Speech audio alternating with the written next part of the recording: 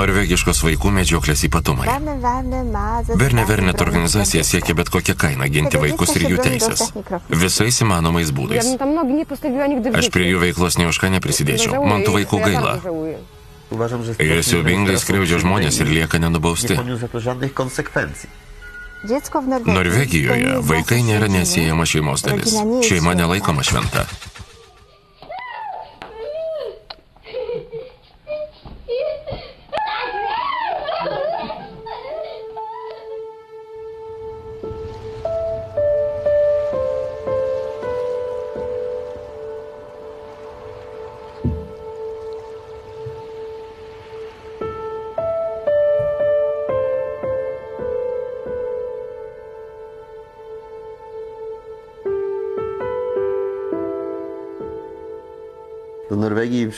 Norvegijoje gyvenu jau labai ilgai. 8 lat temu. Daugiau nei prieš 28 metus susipažinau su vietinė mergina.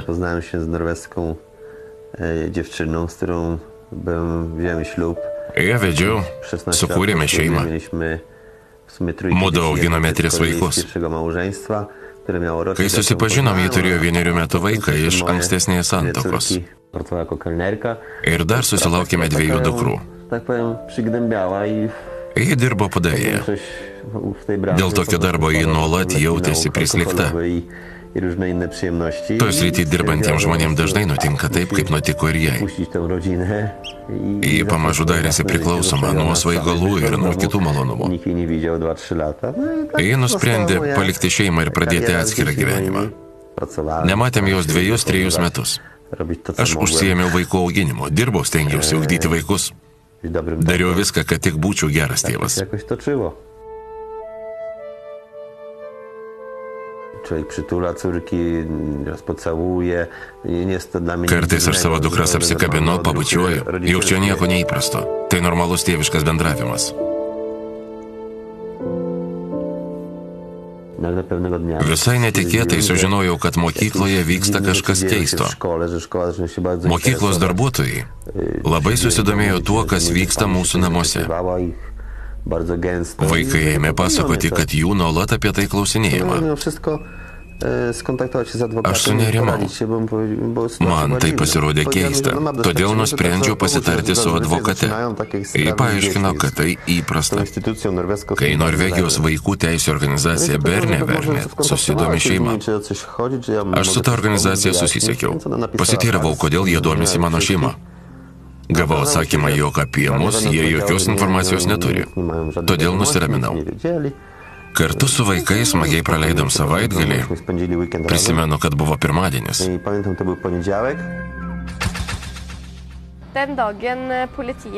Policija ir Berne Vernet darbuotojai pasirodė vasaros dieną. Mano tėvą sulaikė ir išvežė į areštinę. Policja przeszukiwała Policija mieszkanie, ir Berne pamiętał chaos Vernet i darbuotojai tiesiog įsibrovė į namus. Kilo samišis. Jie pradėjo kratą. Jie nei pasibeldė, nei paspaudė skambutį. Tiesiog įsiveržė vidun ir pranešė, kad paima vaikus. Lukk opp døra, og her kommer vi. Her tar vi døtrene og bare stikker av. Og som hun nå kom framme berget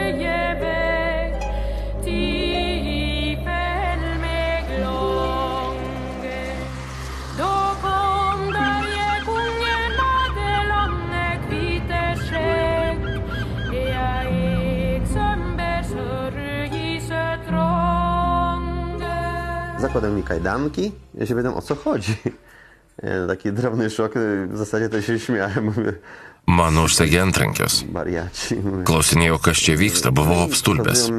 Maniau, kad čia nevykęs pokštas. Man parodė teismo ieškinį. dniu 4 Jame buvo teigiama, kad 20 roku nuvedęs dukras į mokyklą, pabučiavau jas sukišdamas į burną liežuvį. Buvo nurodyta, kad abi mergaitės atvedžiau į tą pačią mokyklą, nors iš tiesų jos lankė skirtingas mokyklas. Negalėjau jų abiejų vienu metu nuvesti į skirtingas mokyklas. Bandžiau aiškinti, kad čia greičiausiai klaida. bet niekas manęs nesiklausė. Buvau įsodintas į policijos mašiną, nuvežtas į nuovadą ir uždarytas areštinėje. Niekas man nieko nepaaiškino, nebendravo. Kitą dieną mane apklausė. Pasakiau, kad negaliu vaikų palikti vienų, kad nėra kas juos prižiūrės. Mane nuramino, kad vaikais jau pasirūpinta. Buvau įsodinta į raudoną mašiną kartu su dviem berne verne Wiedziałam, że darbuotojom. Jos pasakė, kad išveža mus, nes tie namai netinkami gyventi vaikams. Så spurte jeg hvor pappa var, og Kai klausiau, kur mano tėvas, niekas neatsakė. Kartojo, kad tėtis atvažiuos vėliau, kad mes vykstam atostogauti. jeg Mums liepė pasiimti drabužių keliom dienom. Buvau dar mažytė, todėl prisikroviau meškiukų, lėlių. Kartu su drabužiais norėjau pasiimti ir mėgstamiausius žaislus. Bet buvo pasakyta, kad leidžiama pasiimti tik drabužius. Jokių fotoaparatų ar dienoraščių, tik drabužius. Mus domu nuvežė į nie savivaldybę. Nesupratom, kur esam. Mums labai pasisekė, nes mus priėmė maloni šeima. Jie jau daug metų rūpinosi vaikais, todėl turėjo daug patirties. Bet persikėlimas iš savų namų pas globėjus mums buvo siaubingas įvykis. Po tym przesłuchaniu, które było... Bylos posėdėje jaučiausi labai nejaukiai. Po jo grįžau į tuščius namus. Nežinojau, ką daryti. Paskambinau advokatei. Paaiškėjo, jog mokykla mane apskundė. Mano dukra mokykloje papasakojo, kad ji, kai buvo trijų, mes maudėmės baseine. Linksmai žaidėm, aš vaidinau ryklį. Tata pagavęs įkandau ją į užpakaliuką. Tuomet mokyklos darbuotojai sunerimo. Nes tėtis baseine vaidino ryklį ir įkando vaiko į užpakalį. Jie nusprendė, kad aš pedofilas.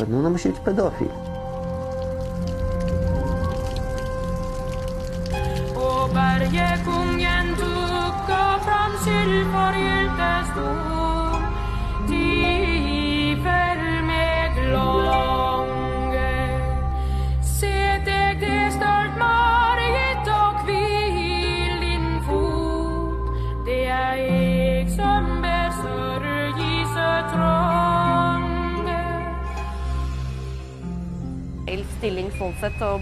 Mes negalėjome Co pasipriešinti. Jie tiesiog išardė mūsų šeimą. Niekas mūsų nieko neklausė. Kai klausinėjome, kas čia vyksta, kur mūsų tėtis, ar mama žino apie tai, kas nutiko, visi tylėjo. Tris mėnesius niekas mums nieko nepaaiškino. Aš buvau pasimetusi ir išsigandusi.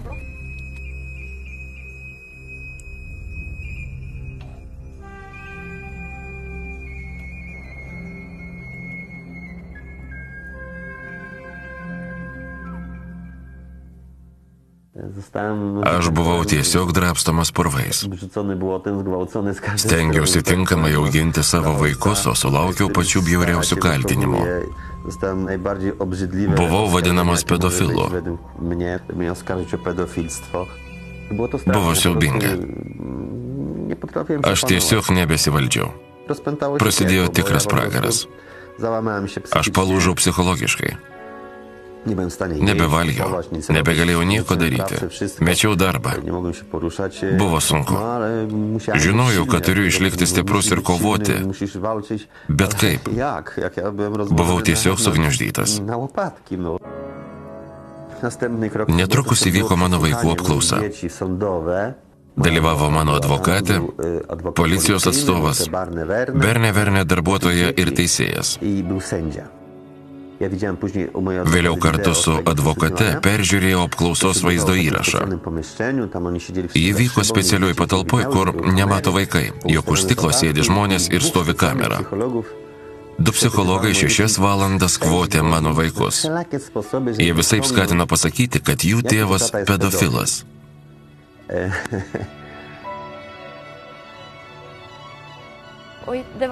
Najgorsze w tym Baisiausia że tai, kad Bernė Vernė darbuotojai bandė mumis manipuliuoti, nors jie nieko nežinojo apie mūsų šeimą.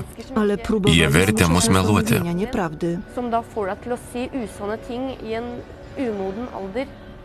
Žadėjo nupirkti ledų, duoti pinigų, jei tik pasakysime, ką nors blogo apie savo tėvą. Siūlė Da- 500 kronų ledų. Straszne. Buvo siaubinga. Kaip galima atimti vaikus iš tėvų, nei nežinant, kokia iš tiesų ta šeima. Kaip galima šitaip drastiškai išvežti vaikus taip toli nuo namų? Vidurinėlė dukra vis klausinėjo. Ko jūs iš mūsų norit? Kodėl klausinėjate apie mano tėtį? Jis pats geriausias tėtis pasaulyje. Ko jūs iš manęs norit? Aš alkana, ištroškus, o jūs vis klausinėjate apie tėtį. mówi. a, a, a, wy mnie pytacie tata i tata.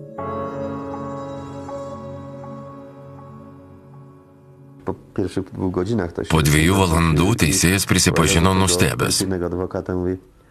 Jie nebuvo matę tokių ryžtingų to vaikų. Jis pastebėjo, kad mergaitės tiesiog dievina savo tėvą. Jis pasakė, kad neverta pradėti bylos.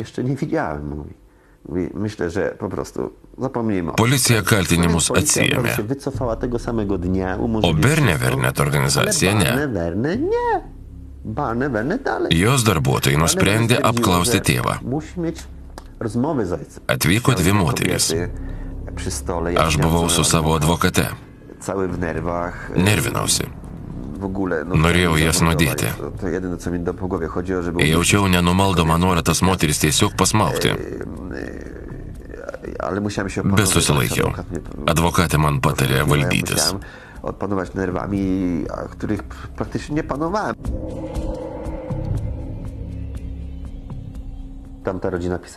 Globėjų šeima kasdien siūsdavo laiškus. Kaskart Normalnie susigraudindavau. Jie rašė, jog mano vaikai dažniausiai meldžiasi prieš mėnesieną, kad galėtų sugrįžti namo pas tėtį. Globėjai apie tai pranešė Berne Verne darbuotojams. Bet atsakymo nesulaukė.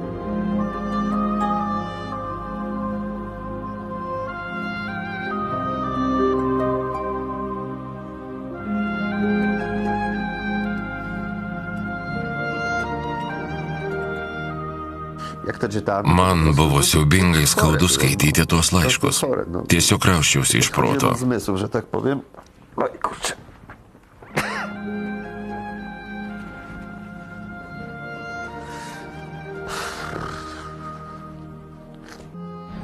Fordi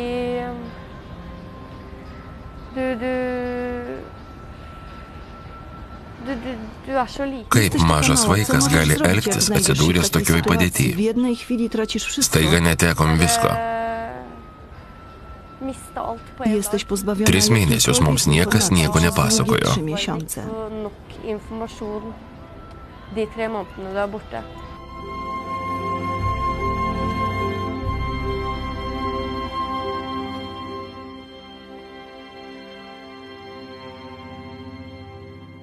Trečiadienį Berne Verne darbuotojai mano advokatai pranešė, kad nusprendė sugražinti man vaikus. Ketvirtadienį iš pat ryto advokatė man pranešė. Penktadienį buvo laisvadienis dėl Velykų. Paklausiau advokatės, kada galiu pasiimti vaikus. Ketvirtadienį jų pasiimti nebegalėjau, nes Berne Verne darbą baigė dviem valandom anksčiau. O penktadienis buvo nedarbo diena. Aš pats penktadienį nedirbau. Poczekać Turėjau laukti dar dešimt 10 dienų po Velykų. kol. Berne Verne darbuotojams buvo laisvadieniai. Kai Berne Vernet ėmė dirbti, Turėjau laukti dar tris dienas, kol man leido pasiimti dukras.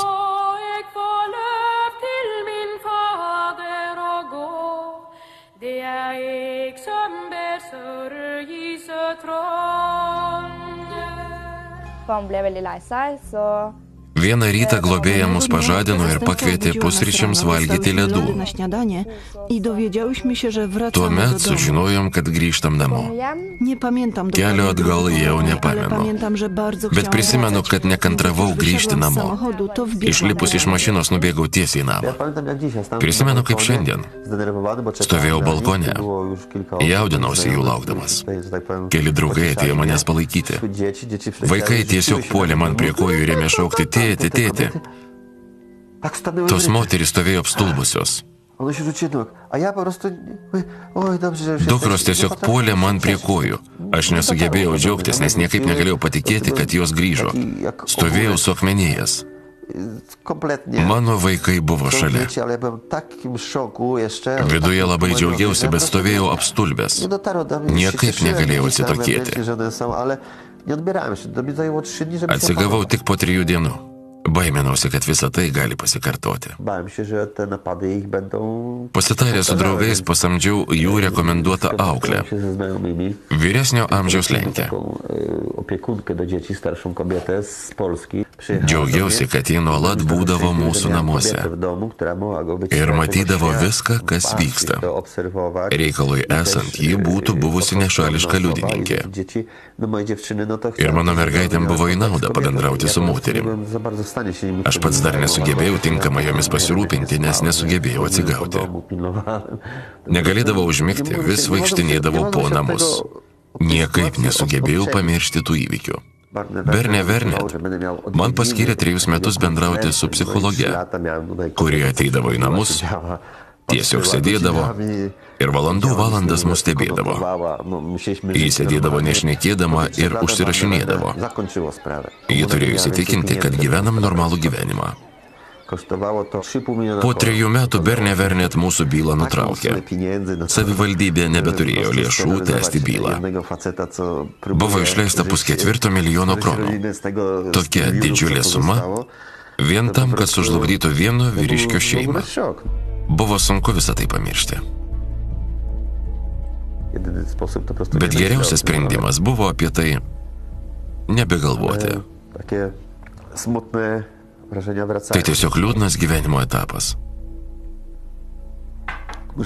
Turiu padaryti pertrauką, nebegaliu apie tai šnekėti.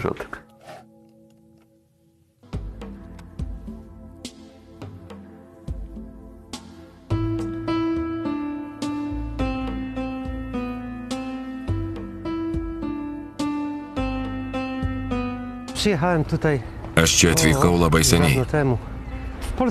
Lenkijoje turėdavau dirbti po 12 valandų per dieną. Tutaj po 7 pół godziny będę miał czas dla dzieci. Tėvu būdavau tik sekmadieniais. Čia dirbau pusaštuntos valandos.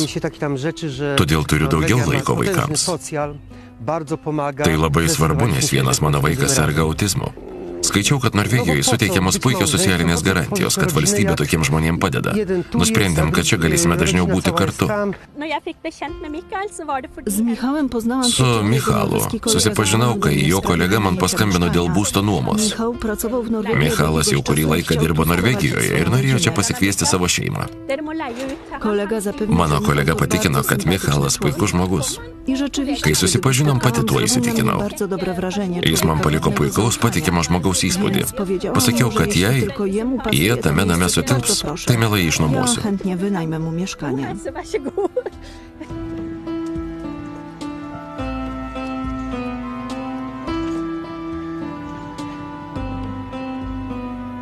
Labai džiaugiausi, kad išvykstam. Mano vyras no, Norvegijoje no, gyveno no, jau metus. Jis nenorėjo, kad mes gyventume atskirai. chciałam, no, żebyśmy no, oddzielnie żyli.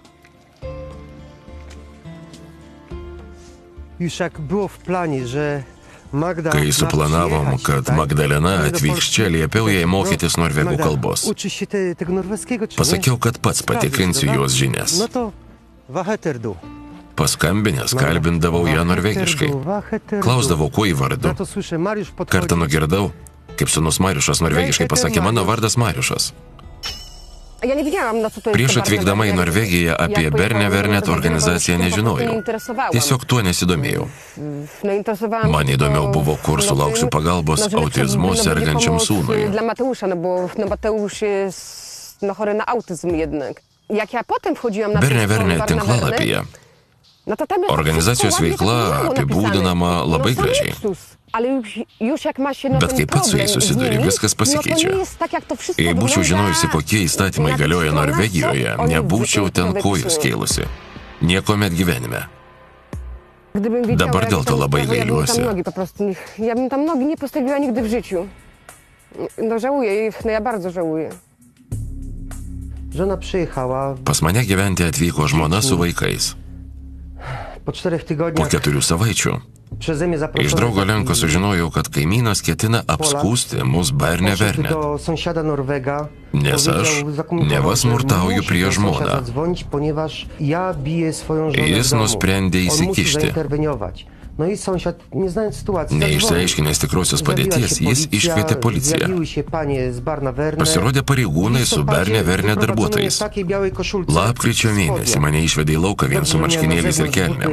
Buvau apsėdęs darbiniais batais. Mane surakino ir išvežė kaip kokį nusikaltelį. jak przestępcę. Man pasakė, kad jei prisipažinsiu mušę žmoną, man skirs tego, 5000 że kronų baudą ir bylą nutrauks. mandat 5000 O jei neprisipažinsiu, būsiu teisiamas, gausiu dar didesnę baudą ir greičiausiai atsidursiu už mnie wielokrotnie wyższa kara pieniężna z perspektywą więzienia. Dėl šventos ramybės jisai su viskuo sutiko, kad galėtų grįžti pas mane ir pas vaikus. Jis spokoju, kad vaikai namie. Todėl visus jam pakištus dokumentus pasirašė.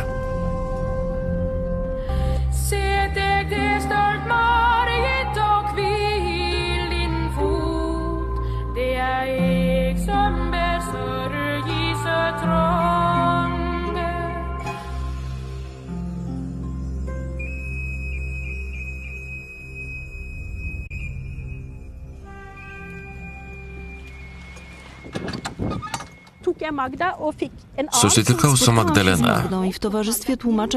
Per vertėją pasiūliau jai apsilankyti krizių centre. Paaiškinau, kas tai per įstaiga. Magdalena paklausė, kodėl turėtų ten lankytis, jei ji savo vyro nebijo. Bez względu na to, co Visai bandžiau ja ją įtikinti nueiti į tą centrą. O ji vis kryzysowego, a kartojo, ona kad Michalo nebijo, "Ale kad nori atgauti vaikus. Pasakiau, kad lankydamas į krizių centre ji galės atgauti vaikus. O ji įtikinėjo, kad jų šeimoje smurtaujama nebuvo, kad ji Michalo nebijo. Laikui bėgant nepastebėjau, kad jie būtų swoje nesutarę. Dabar tikiu, kad ir anksčiau to nebuvo.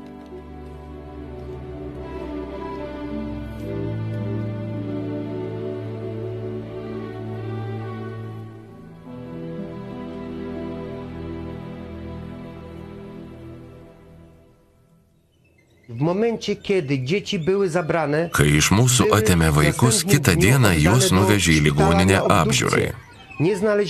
Nerado nei vieno nubrozdinimo ar įdrėskimo. Buvo neva nustatyta, kad vaikai neprižiūrėti, neišauklėti, kad nemoka naudotis peiliu ir šakute.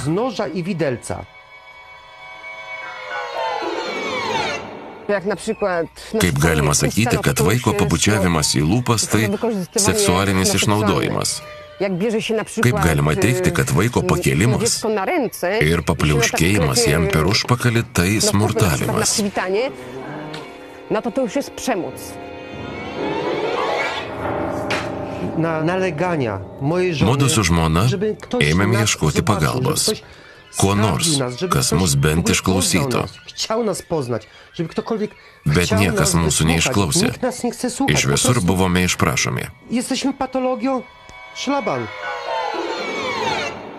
Pirmoji mus išklausyti sutiko teismo psichologija. Była Kai mus priėmė, e, daug klausinėjo. Tai moteriai mums iškeltoje byloje kilo Zaczęła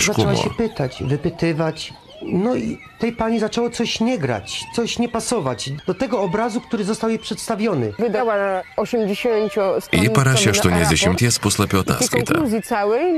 Jos że išvadose buvo rašoma, kad mūsų šeima normali, kad vaikai turėtų grįžti namo. Po pierwszym wyroku Po sądowym pirmojo posėdžio mes buvome labai patenkinti. szczęśliwi. W końcu dzieci Tikėjomės, kad vaikai bus gražinti. Tačiau Berne do Verne czasu następnej nuosprendį apskundė. Todėl vaikai nebuvo gražinti. Nes nežinojom, ką nuspręs kitas teismas. Tad teko toliau laukti.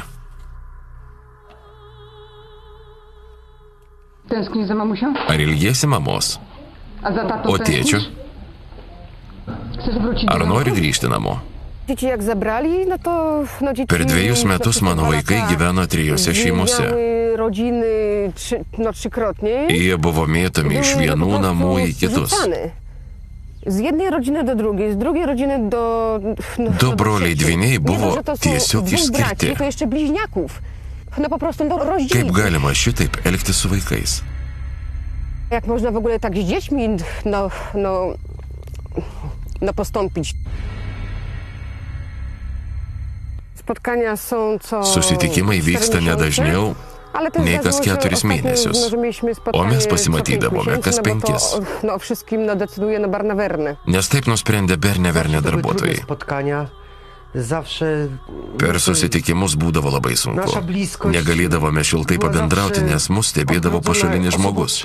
Jis nuolat ko nors klausinėdavo. Zawsze ktoś był, Blaškydavo mus. się dopytywał, kto był rozpraszał. Buvo siaubingai sunku.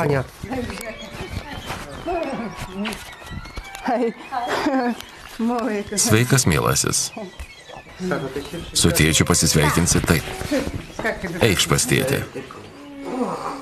Y, Per susitikimus draudžiama ašaroti, rodyti jausmus. Antraip susitikimas bus to jau pat nutrauktas.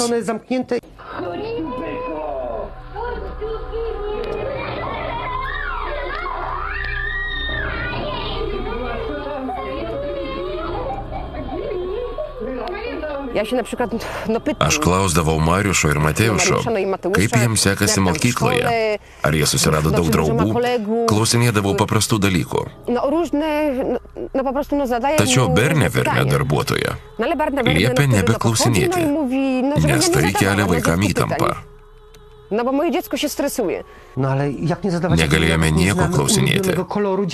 Net nežinojome, Nie kokia mūsų vaikų mėgstamiausia spalva, koks jų batų dydis, nežinojome, kas jiems patinka. Verne nakazała, darbuotoja Pareiškia, kad visus klausimus turim pateikti jiems raštu ir laukti atsakymo. przekazać instytucji Barna Verne i czekać na odpowiedź.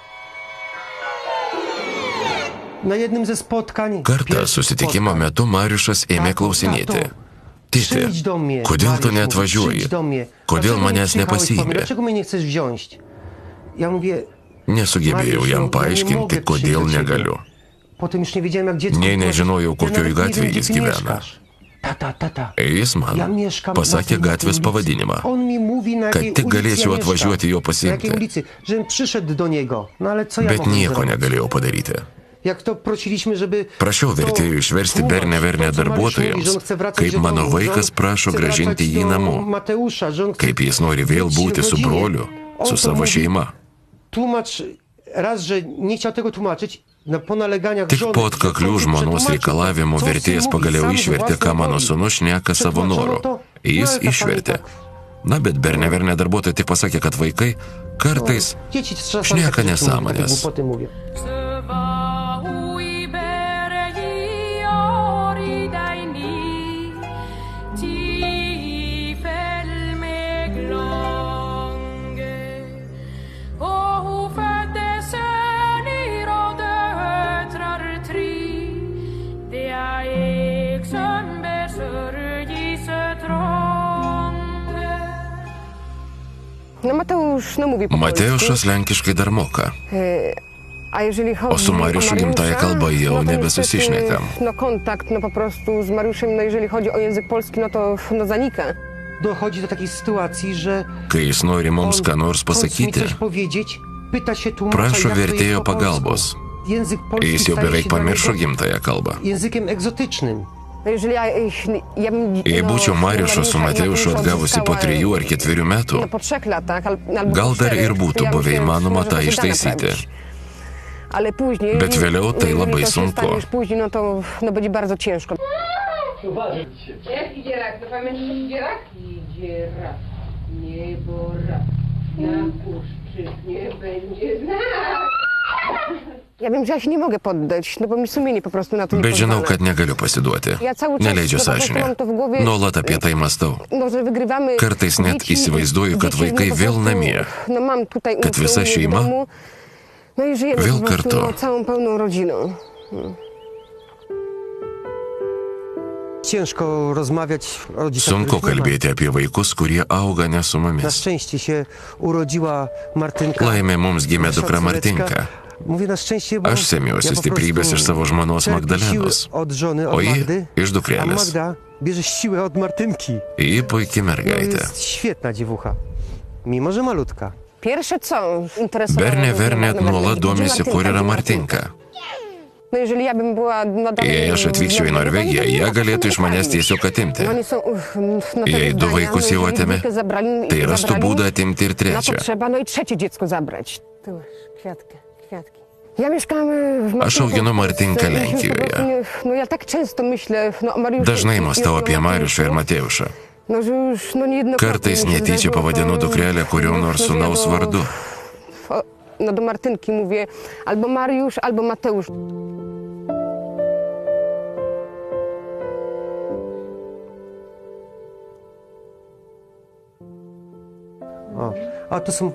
Čia mano sūnus. Puikus berniukai. Kiek jiems šioje nuotraukoje metų? Septyneri. Čia Magda su Mateušu, jį išvelgia su pasididžiavimu ir džiaugsmu. Jie neišskiriama pora, ar ne? Buvo.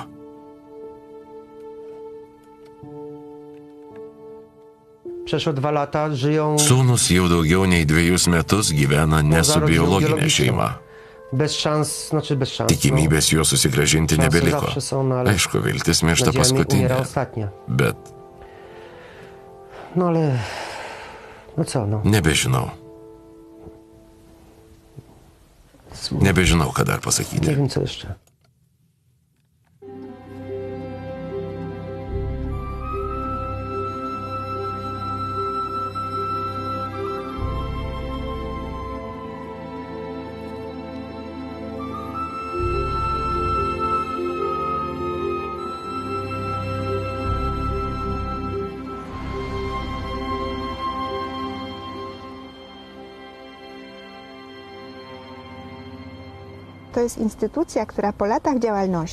Ta organizacija jau po keliarių veiklos metų Norvegai ėmė tiesiog šlovinti. Ji obecnie atskirai veikianti valstybė.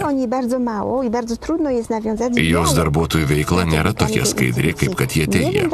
Mes apie ją žinome labai mažai, o su jos to darbuotojais bendrauti labai sudėtinga. Nežinau, gal todėl, kad vaikas laikomas šventu, ši organizacija prilyginama Vatikanui. E, Gal todėl visi, kas per ostatnich dešimt 10 metų bandė kritikuoti ar užginčyti jos veiklą, kovą pralaimėjo. Taip pat reikia nepamiršti, kad šiai organizacijai valstybė skiria didžiulį finansavimą. Gautus pinigus e, juk reikia panaudoti. Jei organizacija trzeba iš šeimų vaikų, tai liktų be darbo. E, Todėl jie taip aršiai kišasi į šeimų gyvenimus. Dažnai kaip tik tos organizacijos veiksmai ir sukelia tragedijas. Į tėvų wrażliwości jausmus jie dėmesio nekreipia. Ta właśnie... Ta organizacija tai tikrų fanatikų grupuotė.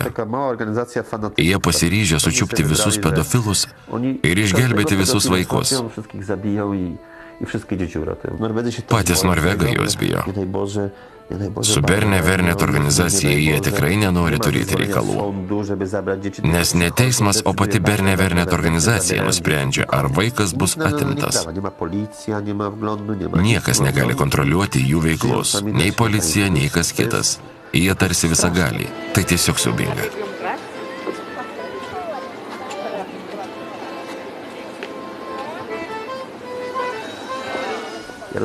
Suprantu, kad ta organizacija buvo sukurta siekiant padėti vaikams.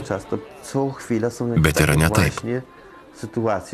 Kiek man teko girdėti, jie nuolat atiminėja vaikus, varo siaubą šeimoms. Ir galiausiai paaiškėja, kad tam visai nebuvo pagrindo.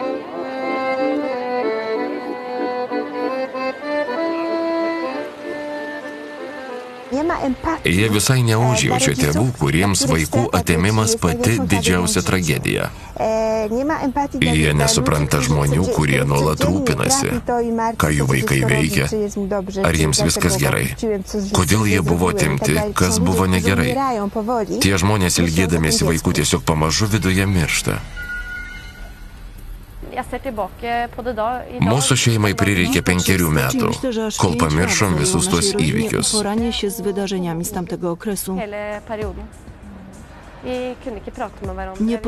Mes negalėdavome apie tai šnekėti. Nežinojome, kas domu. bus, kai grįšime namo. Baiminamės, kad visi įvykiai gali pasikartoti. Tai buvo tikra kankinė. Penkerius metus turėjau lankytis pas vaikų psichologą.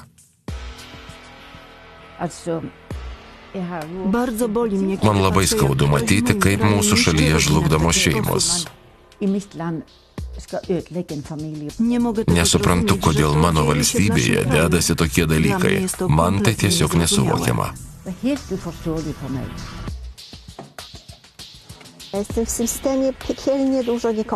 Toje organizacijoje upieczonych. dirba nepatyrę neišmanėliai besivadinantys specialistais. Tos kartos žmonės baigė universitetus, kuriuose buvo skatinami siekti karjeros, o ne puikiai išmanyti savo darbą, pasitelkti žinias ir išminti. Kai reikalas susijęs su vaikais, šeima ir valstybė, vien žinių negana, reikia ir paprasčiausio sveiko mąstymo. Labiausiai norėjau, kad jie mus pasikviestų ir tiesiog atsiprašytų. Net privertęs juos atsiprašyti, pajusčiau didžiulį pasitenkinimą ir gal lengviau visą tai pamirščiau. Sunku susitaikyti su tuo, kas įvyko. Jie su mumis pasielgė tiesiog siaubingai ir liko nenubausti. Po prostu uważam, że mi zrobił straszną krzywdę i nie poniósł za to żadnych konsekwencji.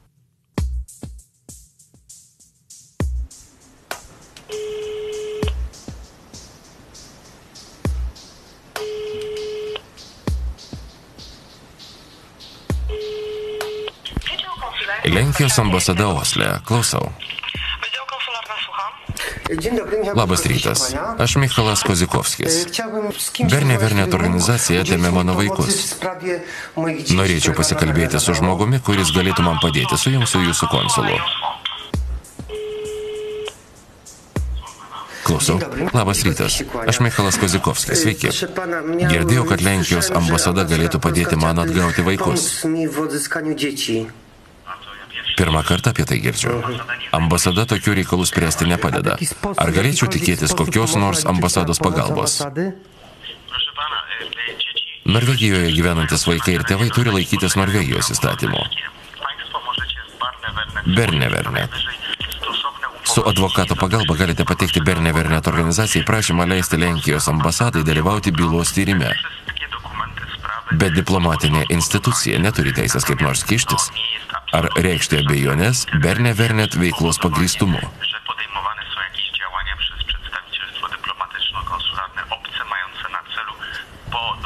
poddać wątpliwości te działania.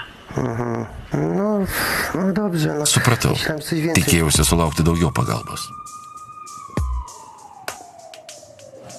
konsul Konsulas turi teisę kištis. Nes jo pareiga na celu ginti Lenkijos piliečių, vaikų teisės. Žinoma, jis neturi teisės paveikti w teismo sądu, Teismas vadovaujasi które vietos įstatymais. e. Reiktų nepamiršti, kad Norvegijoje Lenkijos piliečiams ir e, jų vaikams galioja vietos įstatymai. Nemanau, kad verta kelti paniką dėl tos organizacijos veiklos. Żeby Reikia tiesiog nepamiršti, jog čia kultūra ir įstatymai e, kitokie nei gimtinėje. Atvykę į šią šalį e, spotkać turėtume laikytis čia nusistovėjusios tvarkos. Prawo tutejsze jest inne i my, decydując się wyjechać do tego kraju, musimy zaakceptować tutejsze zasady. Bernevernet turėtų paaiškinti, kodėl grobė turkų vaikus. Norvegijoje indų vaikai lieka be tėvų. Rusijos konsulas sušaukė Rusijos Norvegijos šeimų komitetą. Indijos prezidentas susisiekė su Norvegijos karaliumi. Prisiminkim, kad gyvendami užsienyje turime prisitaikyti prie šalies kultūros. Privalom paklusti joje galiojantiems įstatymams.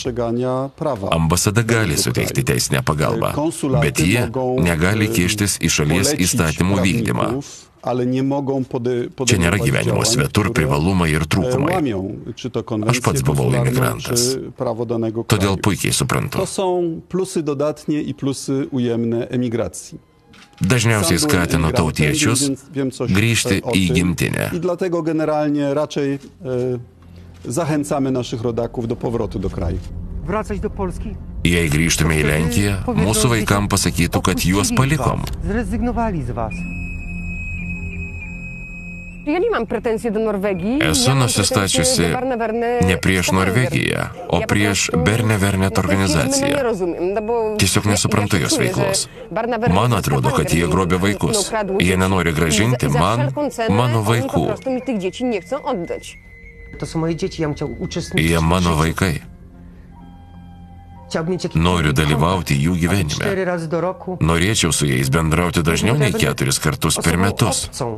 On tylko będzie wiedział, że Greitai visai susvetimėsime. jeden i drugi syn będzie wiedział, o, Mano sūnus tik žinos, kad turi tėvus Lenkus. Ir nieko daugiau.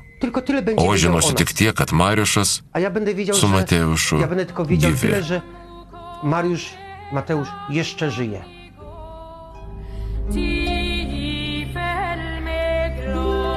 Gražiąją Margaritą iš kalnų miestelio pagrobė žiaurus trolis, miško karalius.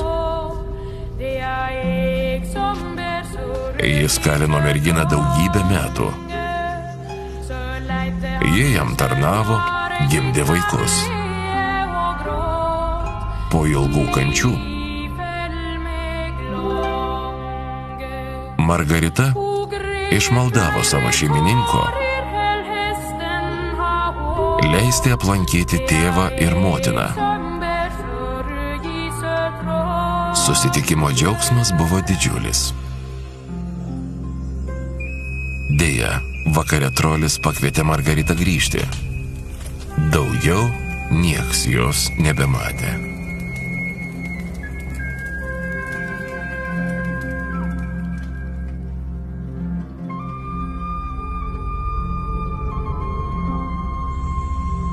Manoma, kad Norvegijos globėjų šeimose gyvena maždaug 50 tūkstančių vaikų. Trečdalis vaikų yra užsieniečiai, tarp jų ir lenkai. Berne Vernet organizacija neskleidžia jokios informacijos apie savo bylas, neva dėl tarnybinio konfidencialumo. Vertė Paulius Genaitis, garso režisierius Ignas Blažaitis, įgarsinta LNK televizija.